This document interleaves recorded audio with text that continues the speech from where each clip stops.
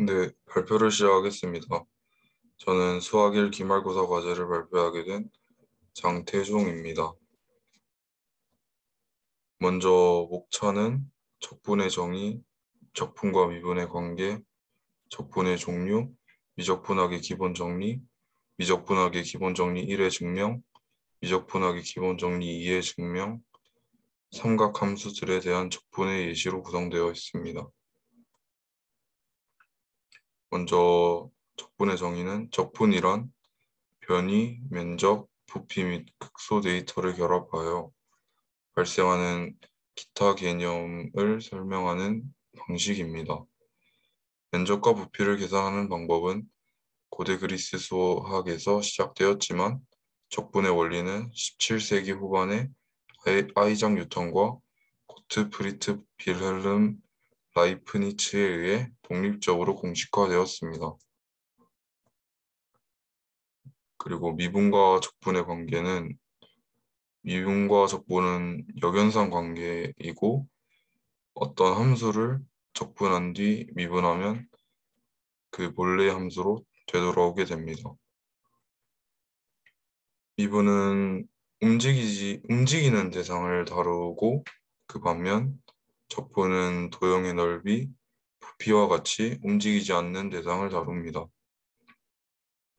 미분과 함께 적분은 미적분학의 기본적이고 필수적인 연산이며 임의의 모양의 면적, 곡선의 길이, 솔리드의 부피와 관련된 수학과 물리학의 문제를 해결하는 도구 역할을 합니다. 그리고 적분의 종류에는 여러 종류들이 있지만 가장 기본적인 부정적분, 정적분, 미만적분을 이렇게 세 개 알아보았습니다. 먼저 부정적분과 정적분을 살펴보면 부정적분은 미분의 역연산이고 부정, 부정적분의 결과는 식으로 나오게 됩니다. 그리고 정적분은 넓이의 개념이며, 개, 개념이며 정적분의 결과는 상수로 나오게 됩니다. 그리고 리만 적분은 구분 구적법을 발전시킨 것입니다. 적분 구간을 잘게 나눌 때 같은 길이의 구간으로 나누는 것이 아니라 임의의 구간들로 나누고 구간 위에서 직사각형의 높이를 취할 때 구간의 끝점이 아니라 임의의 점에서의 함수값을 취하는 것입니다. 그리고 미적 분학의 기본 정리는 미분과 적분을 서로 연관시키는 두 개의 정리입니다. 미적 분학의 기본 정리와 증명은 제임스 그레로, 그레고리가 발표했습니다. 어, 미적분학의 기본 정리 1의 증명.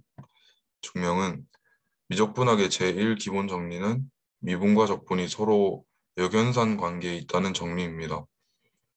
미분은 접선 문제에서 적분은 면적 문제로부터 출발했지만 이 정리는 전혀 관련이 없어 보이는 두 문제가 매우 긴밀한 관계를 가지고 있음을 보여줍니다.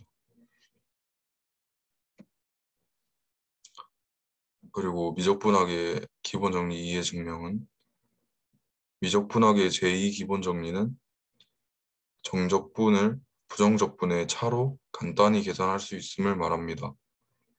이 정리가 있기에 계산이 힘든 리만 합의 극한을 매번 계산할 필요 없이 간단히 부정적분을 사용해 정적분의 값을 계산할 수 있습니다. 그리고 삼각함수 적분의 예시는 먼저 사인만을 포함하는 적분은 이렇게 사인만을 적분하는 걸 볼 수 있고 그리고 코사인만을 포함한 적분에는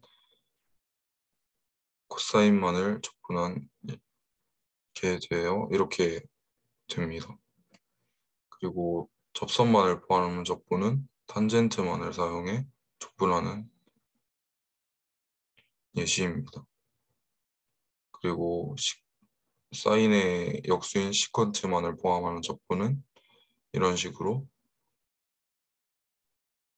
되고 그리고 코시컨트만을 포함하는 적분에는 이렇게 코시컨트만 사용해서 적분하는 예시들이 있고 코탄젠트만을 적분하는 만을 포함하는 적분은 이렇게 코탄젠트들로만 구성되어 있습니다.